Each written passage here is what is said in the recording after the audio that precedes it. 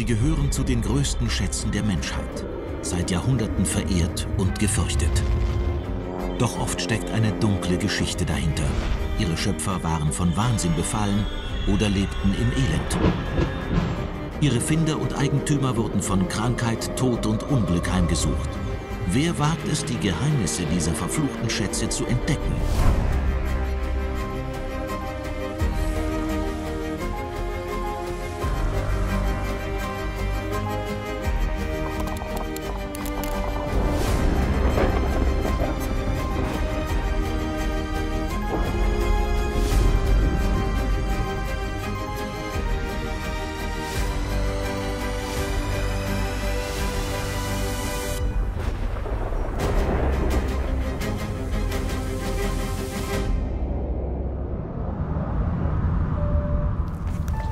Historischer Schatz kann auf viele Weisen verflucht sein. Doch immer zahlt sein Erschaffer, Finder oder Besitzer einen hohen Preis. Unsere Jagd nach verfluchten Schätzen beginnt im Golf von Neapel, in der verlorenen Stadt Pompeji, deren Häuser und Bewohner seit mehr als 1500 Jahren in der Zeit eingefroren sind.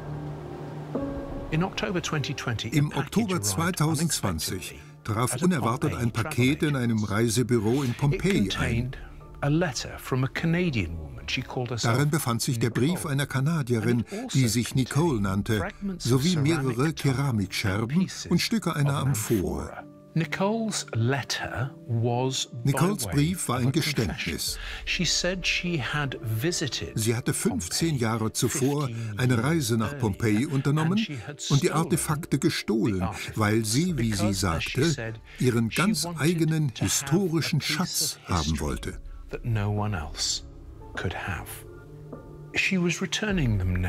Nun gab sie die Stücke zurück, doch nicht bloß aus Schuldbewusstsein, sondern weil sie angeblich unter dem Fluch der gestohlenen Schätze litt. Überraschenderweise ist sie nicht die Einzige. Im Jahr 79 nach Christus wurde die Stadt Pompeji völlig zerstört, als der Berg Vesuv ausbrach und die Stadt mitsamt sämtlicher Bewohner unter Tonnen vulkanischer Asche begrub. Wer vom Stein- und Ascheregen noch nicht erschlagen oder erstickt worden war, verbrannte schließlich bei lebendigem Leibe.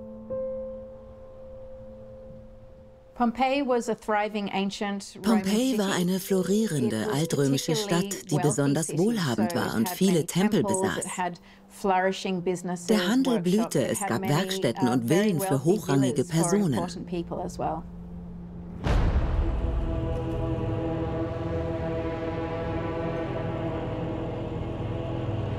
Pompeji wurde erst 1748 wiederentdeckt. Als die Ausgrabungen begannen, fand man eine Momentaufnahme vom Leben in der Stadt vor. Eingefroren in der Sekunde, als die Vulkaneruption eintraf. Viele menschliche Körper waren vollkommen verbrannt, doch von der Asche konserviert worden. Pompeji ist heute ein so bedeutender Ort, weil die Stadt uns erlaubt, an diesem bestimmten Tag, als sie begraben wurde, zurückzukehren. Die menschlichen Überreste, von denen etwa 1150 gefunden wurden, zeigen den Moment ihres Todes. Wir sehen ihre Gesichter, Mütter mit Kindern, Hunden auf der Straße. Das tägliche Leben der Bewohner von Pompeji. Der Legende nach brach der Vesuv nicht aus, weil er ein aktiver Vulkan war, sondern aufgrund von etwas weitaus Finstererem. Dem Fluch von Pompeji zufolge erlitten die Einwohner diese schreckliche Katastrophe wegen ihrer schwindenden Moral und Gottesfürchtigkeit. Man glaubte, die Götter haben ihren Zorn in Form der Eruption auf die Stadt niederregnen lassen. Manche Leichen wurden mit erhobenen Händen gefunden. Man glaubt, dass sie zu den Göttern beteten, um gerettet zu werden. Pompeji ist längst nicht mehr nur für Archäologen interessant. Als Weltkulturerbe und Touristenattraktion zieht die Stadt jährlich Millionen von Besuchern an. Die Fundstätte ist zwar gut gesichert, aber inzwischen wird sie als Freiluftmuseum genutzt, was bedeutet, dass Touristen aus aller Welt durch Pompeys Straßen laufen und sich alle Gebäude von nahem ansehen können. Das macht die Erhaltung äußerst schwierig, weil Gegenstände mitgenommen oder beschädigt werden können. Erst in den letzten paar Jahren wurde die Menge der von Touristen mitgenommenen Souvenirs deutlich. Sie nahmen Teile von Pompeji mit nach Hause und das hat ihnen in den kommenden Jahren viel Ärger beschert. Über die Jahre wurden mehr und mehr dieser Gegenstände ans Kulturministerium zurückgeschickt. Uh, Oft lagen detaillierte Briefe dabei, die von Pech, Unglück, Unfällen, Verletzungen und Geldproblemen sprachen, die nach der Mitnahme aus Pompeji erfolgt waren. Sie glauben, der Fluch von Pompeji sei die Ursache. Eine der Geschichten, aus der die Idee von Pompeyis Fluch erwachsen ist, ist die einer Frau namens Nicole aus Kanada.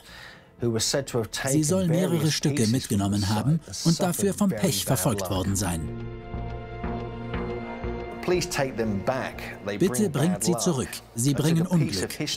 Ich habe ein Stück Geschichte für mich genommen und wegen der schlechten Energien sind Menschen aufs Grausamste gestorben. Sie schrieb, dass sie mit 36 gleich zweimal an Brustkrebs erkrankt war, weshalb man ihr beide Brüste abnehmen musste. Also Die Familie erlitt außerdem finanzielle Probleme und sie schrieb all diese Leiden dem Diebstahl dieser scheinbar verfluchten Artefakte zu. She kind of begs Sie bettelt regelrecht darum, nicht verurteilt zu werden und ihre Familie und Kinder von diesem Fluch zu befreien. Sie sucht Vergebung für den Diebstahl, auch von Gott, wie sie sagt. Nicole fügte zwei kleine Mosaikteile bei, ein Stück Töpferware und ein Keramikfragment. Wäre Nicole ein Einzelfall, könnte die Idee vom verfluchten Schatz von Pompeji wohl kaum bestehen. Doch sie ist nicht allein. In einer anderen Geschichte von 1982 nahmen Leute ein Stück von einer Säule aus der Stadt mit und wurden seitdem von lebensveränderndem Pech verfolgt, weshalb sie das Stück zurückgaben und in einem Brief um Vergebung baten und auf die Befreiung vom Fluch hofften. Darin heißt es, diese kleinen Stücke stammen von den Säulen Pompejis. Seit wir sie 1982 mitgenommen haben, haben wir Unglück. Wir wissen nicht, ob es ein Zufall ist. Über 200 Gegenstände wurden zurückgegeben und so beschlossen die Verantwortlichen des archäologischen Parks von Pompeji, etwas zu unternehmen. Sie dachten, das sei eine interessante Geschichte, die Teil der Fundstätte von Pompeji ist. Also beschlossen sie, einige der Briefe auszustellen. Darum gibt es nun eine Sammlung von Briefen und Artefakten, die über die Zeit zurückgegeben wurden. Der Fluch von Pompeji hat zwei Aspekte.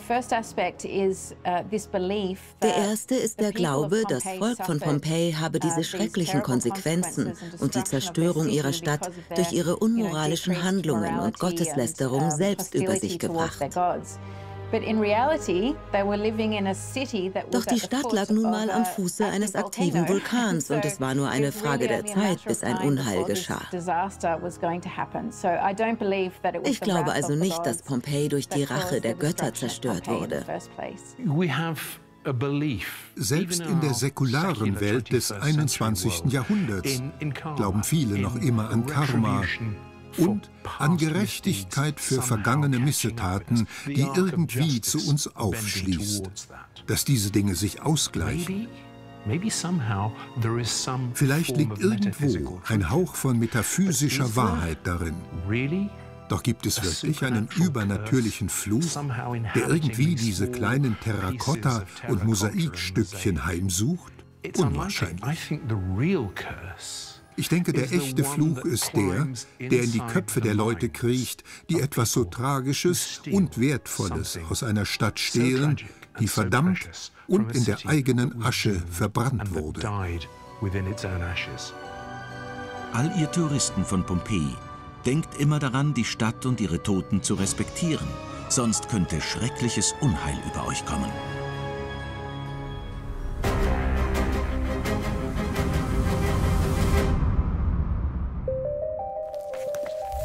Als nächstes reisen wir nach Deutschland, wo ein unglaublicher Fundus an wertvollen Kunstwerken als zerstört und für immer verloren galt, bis er an einem unscheinbaren Ort entdeckt wurde, wo ein einsamer alter Mann ihn bewachte.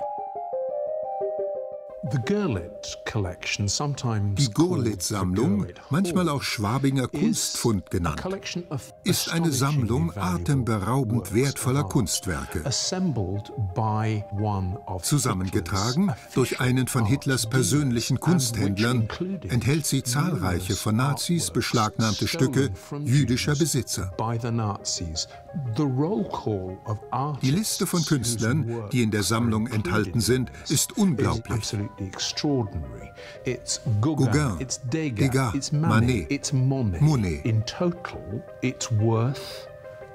Die umfangreiche Sammlung ist weit über 100 Millionen Dollar wert, doch sie hat ihren Besitzern äußerst wenig Freude bereitet.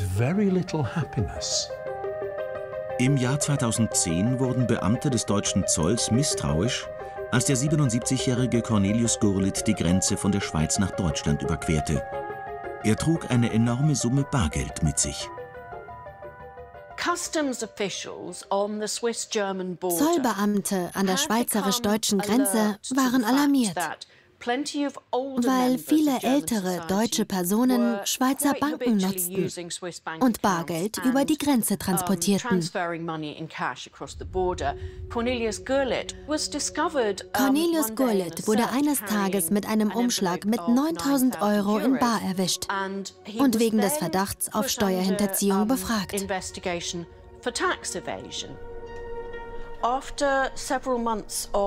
Nach mehreren Monaten der Überwachung wurde das Zuhause von Cornelius Gurlitt im Morgengrauen durchsucht. Die Ermittler fanden dabei zu ihrer Verblüffung eine Wohnung voller Kunstwerke vor und dazwischen einen ausgesprochen irritierten, traurigen alten Mann. Insgesamt besteht Gurlitz Sammlung aus ca. 1600 Werken. Cornelius Gurlitt hatte sie von seinem Vater Hildebrand geerbt. Dieser war in Geldwäsche von Kunst verwickelt, die die Nazis nach 1937 gestohlen hatten. Hildebrand Gurlitt war Cornelius Gurlitts Vater und ein extrovertierter, ehrgeiziger und erfolgreicher Kunstdirektor.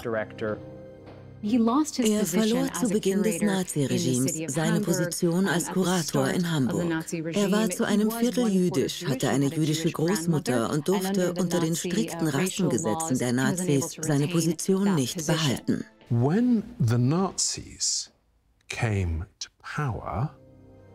Als die Nazis an die Macht kamen, ordnete Hitler an, dass entartete Kunst, so nannte er alle, fast alle Werke der modernen Malerei, beschlagnahmt werden sollte.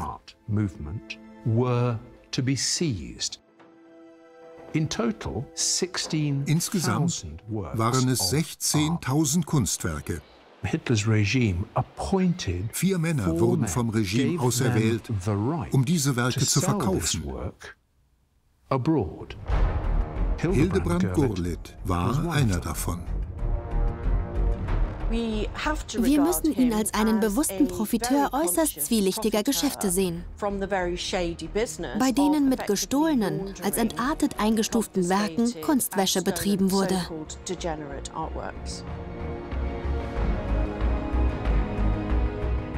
Er erwarb Werke, die offiziell aus deutschen Museen verschwunden waren. Einige davon gelangten in seine Privatsammlung. Also Außerdem kaufte er während der deutschen Besatzung Kunstwerke in Paris. Einige Stücke stammten aus noch tragischeren und finsteren Umständen. Die antisemitische Verfolgung der Nazis zwang viele Juden, ihre Wertsachen zu verkaufen, um Steuern oder Visa zu bezahlen, mit denen sie dem sicheren Tod zu entrinnen hofften. Hildebrand nutzte diese jüdischen Familien aus. Er sagte sich, er täte ihnen einen Gefallen, indem er ihnen das Geld gab, das sie brauchten. Tatsächlich aber erstand er die Werke zu Spottpreisen und trieb damit den Wert in den Keller. Das war im Grunde Diebstahl. Er profitierte vom Leid und der Verzweiflung derer, die sich von wertvollen Kunststücken trennen mussten, nur um zu überleben. Doch dieser unehrenhafte Gewinn brachte der Familie Gurlitt weder Freude noch Glück. Hildebrand wurde bei einem Autounfall getötet und seine Frau starb in den 1960er Jahren. Die Sammlung ging an ihren Sohn Cornelius, der ebenfalls ein scheinbar verfluchtes Leben führte. Der Fund wurde nach seiner Entdeckung im Jahr 2012 von deutschen Behörden über ein Jahr lang geheim gehalten. Doch als ein Whistleblower die Geschichte publik machte, entbrannten Kontroversen. Die Behörden dachten wohl, sie könnten die Details der Sammlung und die genauen Besitzansprüche sowie einige der schwierigen Fragen aufklären. Die Schattenseite der langen Wartezeit vor der Veröffentlichung des Fundes war jedoch, dass die rechtmäßigen Erben einiger der Werke schon recht alt waren. Ihnen die Informationen vorzuenthalten, könnte sie der Möglichkeit berauben, die Kunstwerke zurückzubekommen. Verschiedene deutsche Ministerien stellten eine Taskforce internationaler Experten zusammen. Nachforschungen ergaben, dass 14 Werke definitiv von bekannten Besitzern gestohlen wurden. Sie wurden zurückgegeben. Allerdings ist der Besitz von bis zu 700 Werken nicht klar festzustellen. Wir wissen nicht genau, durch welche Hände diese Werke während der Nazizeit gewandert sind, was sie höchst problematisch macht. Noch problematischer sind die Eigentumsgesetze in Europa.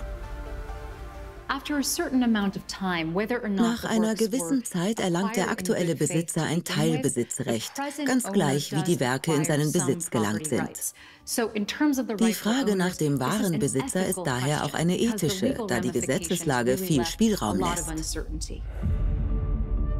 Mit der Veröffentlichung der Geschichte stand der zurückgezogene Cornelius Gurlitt mit seiner finsteren Familiengeschichte plötzlich weltweit im Rampenlicht. Nach dem Mediensturm, der der Entdeckung der Sammlung und der Presseveröffentlichung nachging, hatte Cornelius Gurlitt eine schwierige Zeit. Uh, Seine komplette Familiensammlung wurde ihm weggenommen und er stand völlig im Regen. Er war uh, zu der Zeit ein recht alter Mann. Er hatte Herzprobleme und all der Trubel und die kriminellen Anschuldigungen, die er für unfair hielt, lösten ernsthaften Stress aus. Er wurde interviewt und sagte, er sehe seinen Vater als Helden, weil er diese Werke von den Nazis gerettet hatte. Er selbst beschützte sie vor der Nazi-Verfolgung, die in seinen Augen noch lange anhielt. In den wenigen Interviews, die Cornelius Gurlitt gab, wurde deutlich, dass er eine krankhafte Obsession für die Gemälde hatte. Cornelius fühlte sich seiner Kunstsammlung äußerst verbunden und man sagt, er habe einige Stücke wie Familienmitglieder behandelt.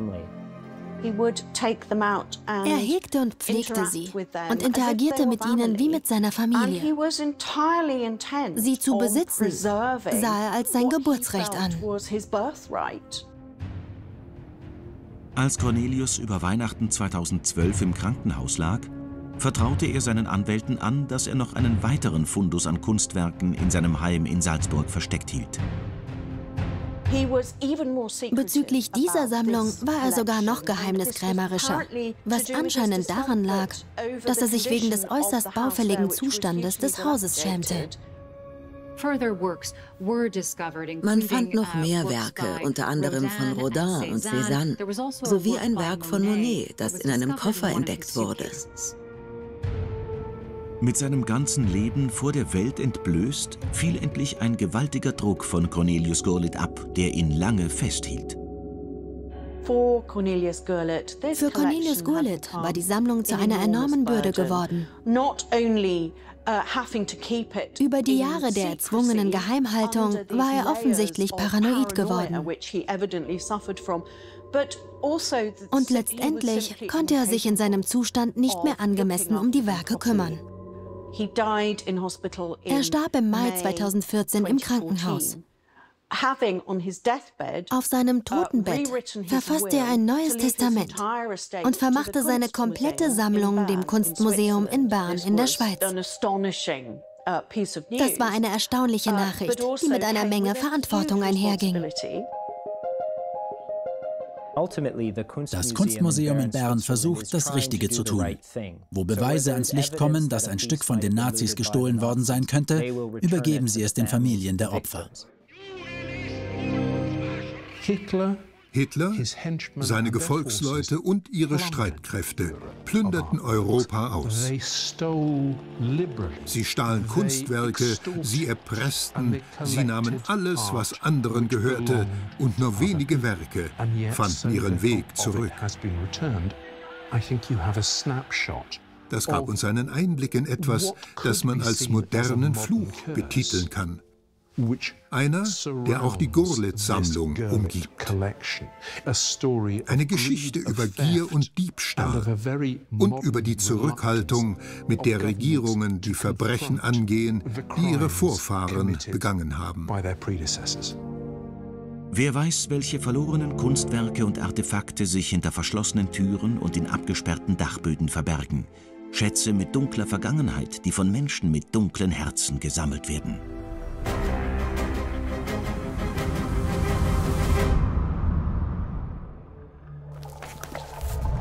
Nun führt uns unsere Jagd auf verlorene Schätze in das Ötztal in den Alpen.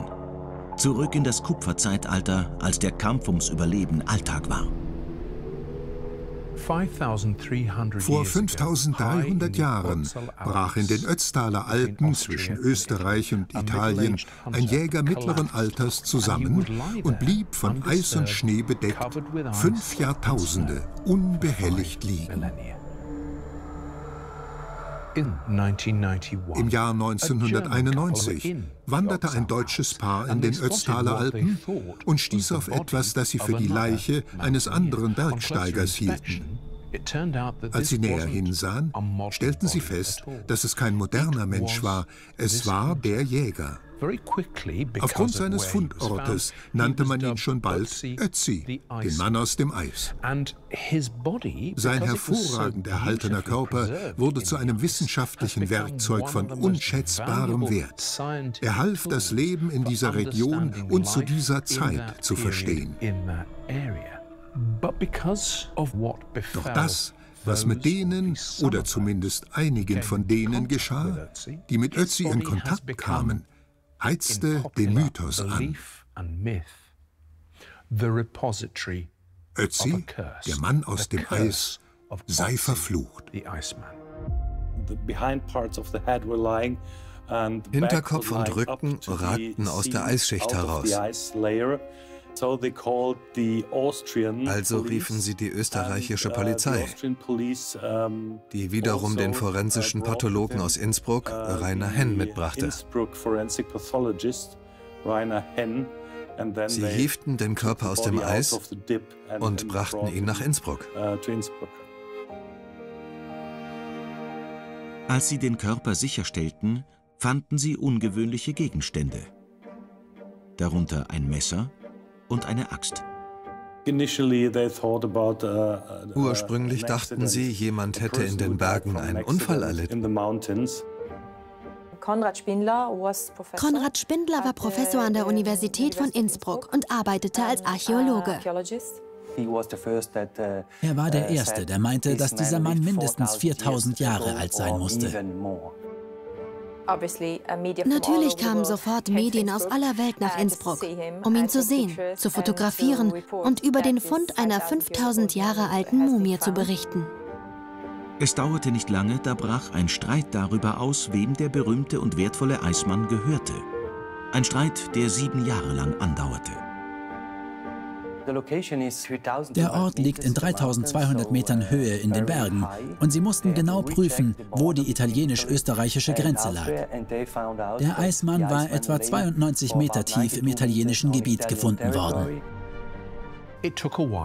Es dauerte eine Weile, doch schließlich verloren die Österreicher und Italien erhielt das Besitzrecht für diesen unfassbar wertvollen Fund.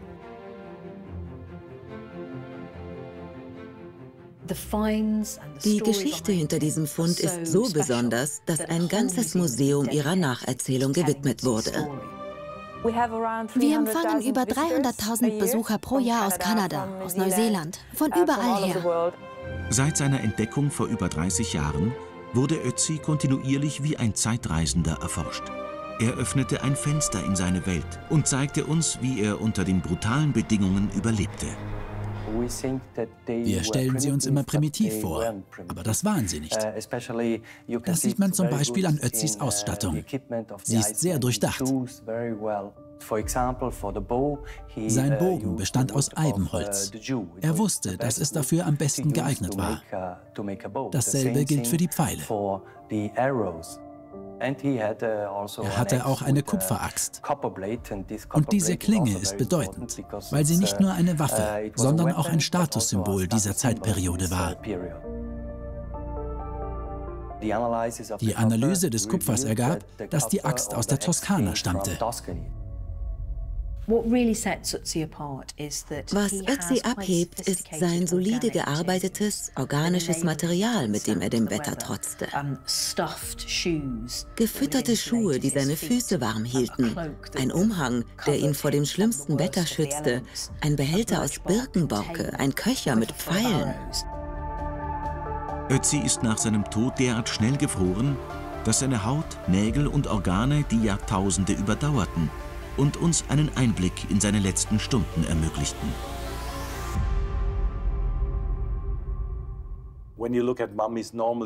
Die meisten entdeckten Mumien haben weder Magen noch Därme, die untersucht werden könnten. Dieser Fund ist also einzigartig. Wir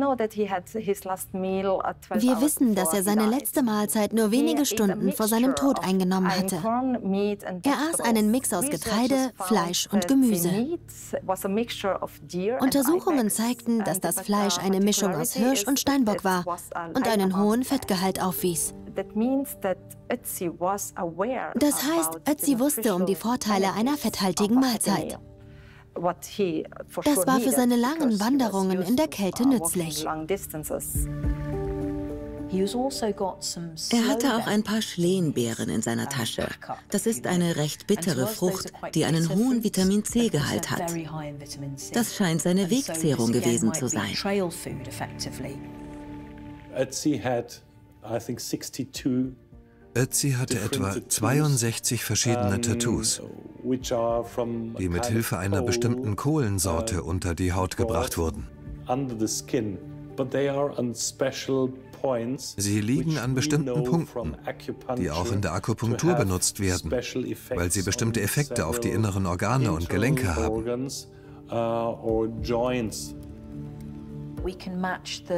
Wir sahen Beweise für Arthrose an seinem Körper und stellten fest, dass die uh, Tattoos an den entsprechenden Stellen angebracht sind, an denen er offenbar Schmerzen hatte. Doch wie ist Ötzi gestorben? Jahrelang blieb diese Frage unbeantwortet, bis ein CT-Scan zehn Jahre nach seiner Entdeckung eine dunkle Erklärung lieferte. Ötzi ist das weltweit erste bekannte Mordopfer. Uh, Ursprünglich dachte man, Ötzi sei uh, erfroren. Und dann kam die Theorie auf, er sei bei einem Jagdunfall gestorben. Man fand 2001 eine Pfeilspitze in seiner linken Schulter und heute wissen wir, dass er getötet wurde.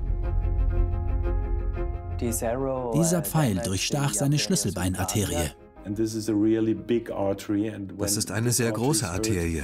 Uh, Und wird sie verletzt, hat man wenig Zeit, bevor man verblutet. Uh, er wurde von hinten erschossen. Sein Mörder stellte sich ihm nicht direkt, vermutlich weil er ein guter Krieger und Kämpfer war. So tötete man ihn hinterrücks.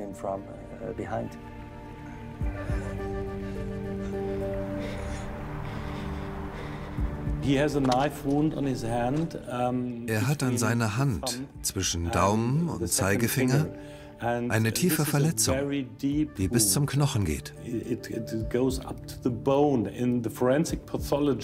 Der forensische Pathologe identifizierte sie als Selbstverteidigungswunde. Uh, sie ähnelt Fällen, in denen jemand das Messer seines Angreifers an der Klinge packt, um sich zu schützen. Uh, Wir wissen, dass er in einen Kampf verwickelt war, aufgrund dieser Verletzung an der rechten Hand, die ungefähr 36 uh, bis 45 Stunden vor seinem Tod erfolgt sein muss. Uh, es gibt Hinweise auf eine schwere Kopfverletzung. Seine rechte Wange hat beispielsweise eine andere Farbe, was auf eine lokale Blutung oder ein Hämatom hindeutet. Wir müssen annehmen, dass er in eine Auseinandersetzung verwickelt war, in der er ähnlich stark austeilte, wie er einstecken musste. Vielleicht war er selbst der Bösewicht. Wir können es nicht wissen. Doch entfachte Ötzis brutaler Tod einen Fluch? Seit sein Körper aus dem Eis entnommen wurde, erlitten viele, die mit ihm gearbeitet haben, ein vorzeitiges Ende. Angefangen mit dem deutschen Touristen Helmut Simon, der ihn entdeckt hatte. Er starb bei einem Unfall am Berghang. Das war der erste Tote. Binnen einer Stunde nach Helmut Simons Beerdigung starb Dieter Wenecke, der die Bergungsmission der Bergrettung geleitet hatte, an einem plötzlichen Herzinfarkt. Und kurz darauf geriet Kurt Fritz, ein weiteres Mitglied des Bergungstrupps, in einen tödlichen Unfall. Es war ein Felsrutsch. Dabei war er ein erfahrener Bergsteiger. Wie war er dort hineingeraten?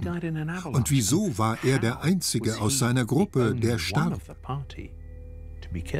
Je mehr Menschen starben, desto größer wurde die Idee, es könne sich um einen Fluch handeln.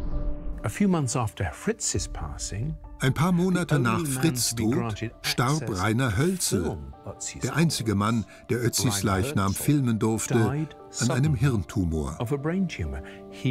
Er war nur 47 Jahre alt. Also Außerdem starb Rainer Henn, der forensische Pathologe, bei einem Verkehrsunfall. Er war einer der ersten, die Ötzis mumifizierte Leiche begutachteten.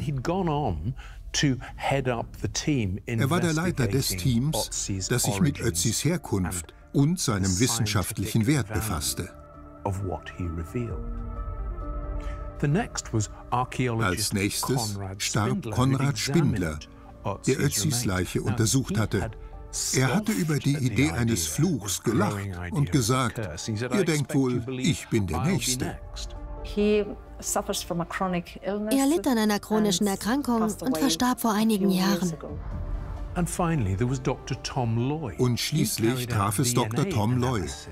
Er führte die DNA-Analyse durch und war dabei, ein Buch über Ötzi fertigzustellen, als auch er plötzlich starb.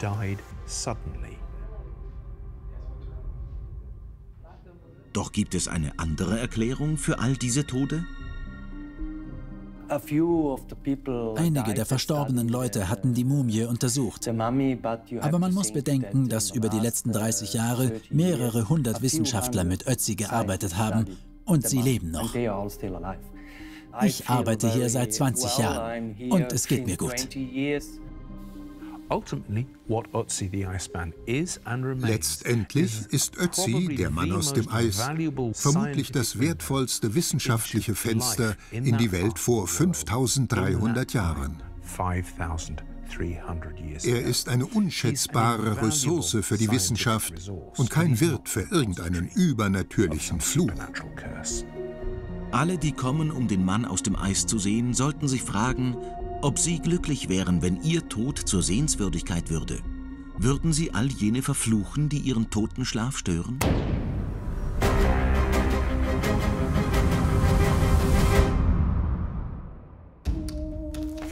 Das finale Ziel auf unserer letzten Jagd nach verlorenen Schätzen liegt in einem Gebiet bekannt als die Hell Creek-Formation, die im mittleren Westen Amerikas liegt. Dort streiften Dinosaurier zur Kreidezeit frei umher und ihre Fossilien zeugen selbst 66 Millionen Jahre nach ihrem Aussterben von dieser Zeit. Im Jahr 1987 erforschte der Amateurpaläontologe Stan Zackerson die Flora der Gegend, als er einen riesigen Knochen aus einem Hang ragen sah. Er war auf die fossilen Überreste eines riesigen prähistorischen Dinosauriers gestoßen, eines gewaltigen T-Rex. Stan erbat Hilfe beim Black Hills Institute, einer Firma von kommerziellen Dinosaurierjägern unter der Führung von Peter und Neil Larson. Die Larsons wurden später berüchtigt wegen ihrer Beteiligung an nicht bloß einer, sondern zwei umstrittenen T-Rex-Entdeckungen.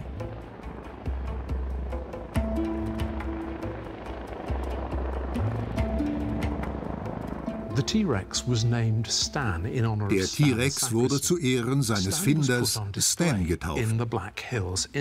Stan wurde im Black Hills Institute ausgestellt und war augenblicklich beliebt. Er wurde zu einem internationalen Star. Doch in dieser Prominenz lag die Saat für einen Streit, der Jahrzehnte andauern sollte. Dinosaurier haben die Menschen schon seit ihrer ersten Entdeckung fasziniert. Und der beliebteste und angsteinflößendste war der mächtige Tyrannosaurus Rex. Der T-Rex ist in den Augen vieler Leute das größte und stärkste Raubtier, das die Erde je gesehen hat. Diese unglaubliche, große, fleischfressende Maschine. Er ist ein echtes Aushängeschild für die Paläontologie mit all den Gussattrappen und echten Exemplaren, die weltweit ausgestellt werden. Besonders Kinder sind inspiriert von der Größe und den riesigen Zähnen. Dem Wissen, dass diese Tiere vor 68 bis 66 Millionen Jahren wirklich gelebt haben.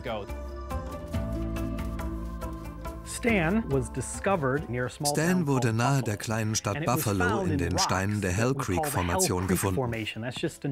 So nennen wir diesen Felsabschnitt, der sich in der späten Kreidezeit vor ca. 66 bis 67 Millionen Jahren geformt hat. Stan Sackerson, the paleontologist, Stan Sackerson, der Paläontologe, arbeitete mit dem Team von Pete Lawsons Crew vom Black Hills Institute zusammen. Er fand einige Knochenfragmente und leitete ab, dass sie von einem größeren Exemplar stammen mussten. Vielleicht sogar von einem Skelett. Pete Larson und seine Crew kehrten ein paar Jahre später zurück und gruben die Knochen aus. Pete ist ein kommerzieller Paläontologe. Er ist einer der besten, die ich kenne. Er ist wie ein Bluthund, wenn es um das Aufspüren von Dinosaurierknochen geht. Und er ist sehr gut darin, sie aus der Erde zu holen, zu reinigen und auszustellen. Als die Knochen zusammengetragen wurden, erkannten Peter Larsen und die weitere Paläontologengemeinschaft schnell ihre Bedeutsamkeit.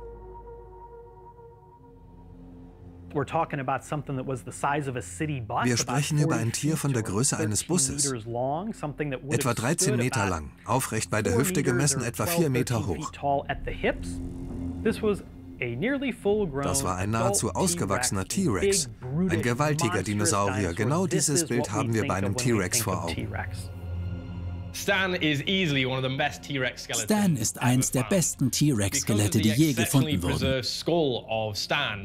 Wegen seines außerordentlich gut erhaltenen Schädels konnten Paläontologen viel über die Beißkraft des Tyrannosaurus herausfinden. Wir konnten die Größe der Muskeln ermitteln und wie weit sich das Maul öffnete. Mit den riesigen, knochenzermalmenden Zähnen und seiner Kieferstärke konnte der T-Rex so ziemlich alles binnen Sekunden vernichten. Er ließ Knochen splittern und verschluckte sie beim Fressen mit. Mit der weltweiten Beliebtheit von Stan, sowohl bei Wissenschaftlern wie auch Dinosaurierfans, wuchs auch die Bekanntheit des Black Hills Institute. Sie ersannen erfolgreich Pläne, ihren wertvollen Besitz zu monetarisieren. Jahrzehntelang waren Peter und Neil Larson, die Stan im Black Hills Institute ausstellten, die Rockstars unter den Dinosaurierjägern. Ihre Ausgrabungen und Entdeckungen waren wegweisend und brachten ihnen eine Menge Ruhm.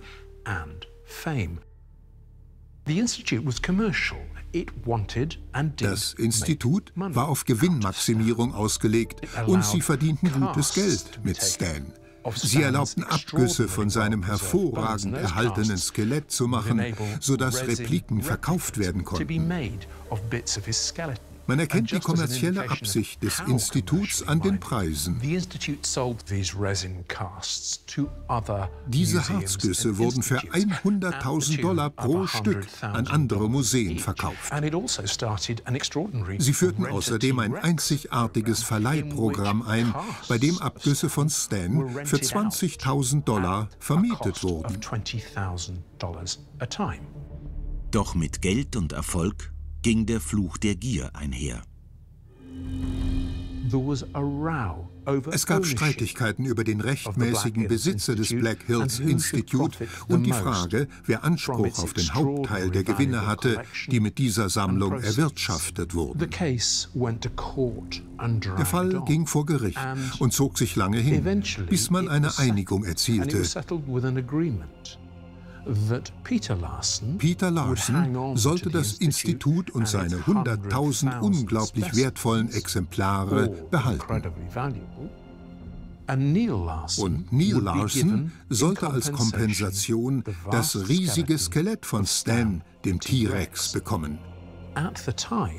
Dessen Wert wurde zu der Zeit auf ca. 5 Millionen Dollar geschätzt. Stan würde bei einer Auktion verkauft werden. Würde damit dieses unersetzliche Fossil der Wissenschaft für immer verloren gehen? 2021 wurde Stan zur Auktion freigegeben, was eine Reihe von Paläontologen wie mich sehr besorgte. Wir fürchteten, das Skelett würde im Anwesen irgendeines Oligarchen verschwinden und nie mehr gesehen werden. Als Neil Larson Stan verkaufte, sorgten sowohl der Preis als auch der neue Besitzer für eine große Überraschung. Er wurde letztlich für 31,8 Millionen Dollar verkauft und setzte damit einen neuen Rekord für den teuersten je verkauften Dinosaurier. Das besorgte uns zutiefst, denn wenn Dinosaurier zu solchen Summen gehandelt werden, können Museen und Universitäten sie sich nicht mehr leisten. Gerüchte besagten, dass Stan bei einem Filmstar in Hollywood oder einem Technikgiganten gelandet war, wie es schon mit anderen Exemplaren vorgekommen war. Eines der ausgefallenen, aber plausiblen Gerüchte war, dass Dwayne The Rock Johnson ihn gekauft hätte. The Rock ist ein bekannter Dinosaurier-Enthusiast und 2022 gab er von zu Hause ein Interview, in dem man den Schädel eines T-Rex sehen konnte. Also spekulierten die Leute, ob er derjenige gewesen war, der das Fossil ersteigert hat. War The Rock der anonyme Käufer? Paläontologen und Dinosaurierfans auf der ganzen Welt atmeten erleichtert auf, als publik wurde, dass Stan vom Naturhistorischen Museum in Abu Dhabi gekauft und für die Wissenschaft und ihre Ausstellung gesichert worden war. Doch hat der Verkauf von Stan trotz dieser glücklichen Wendung einen Fluch heraufbeschworen?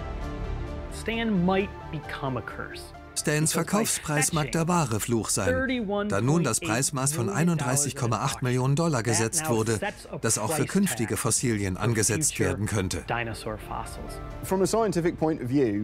Von einem wissenschaftlichen Standpunkt aus war der Verkauf von Stan schlecht, da er den Verkauf von weiteren Dinosaurierfossilien anregte und das Denken in Richtung des Marktwerts anstelle des wissenschaftlichen Wertes verschob. Doch es gibt noch einen letzten Haken in dieser T-Rex-Geschichte. Im Jahr 2022 wurde Shen, ein weiterer T-Rex, zur Versteigerung angeboten und sollte 25 Millionen Dollar erzielen. Doch bald entbrannte eine Kontroverse. Larson Larson beschwerte sich öffentlich und ungehalten, dass Shen als echter Dinosaurier ausgegeben wurde, obwohl er in Wahrheit zu großen Teilen eine Kopie von Stan war. Die Auktion wurde abgebrochen und Shen wurde nicht verkauft. Doch auch hinter diesem traurigen Teil der Geschichte steht die Realität von Stans eigener Popularität. Er war ein derartig bedeutender Fund, sein Skelett war in derart gutem Zustand, dass die Abgüsse, die man von ihm angefertigt hatte, genutzt werden konnten, um andere Dinosaurier nach Belieben zu ergänzen. In gewisser Hinsicht trägt er damit die Saat der Zerstörung des eigenen Rufs und seiner Monetarisierung in sich. Vielleicht ist das der wahre Fluch von Stan, dem T-Rex. Stan ist einer der meist fotografierten und wiedererkennbaren Dinosaurier der Welt. Wenn Sie je einen T-Rex in einem Museum gesehen haben, stehen die Chancen gut, dass es eine Kopie von Stan war. Es gibt etwa 60 Abgüsse von diesem Dinosaurier, die über den Globus verteilt sind. Dinosaurierknochen mögen hoch im Kurs liegen. Doch sie scheinen ihren Findern nichts als Ärger zu bringen, wie Peter Larsen sicher zustimmen würde. Hoffentlich hat er mit seiner nächsten Entdeckung mehr Glück.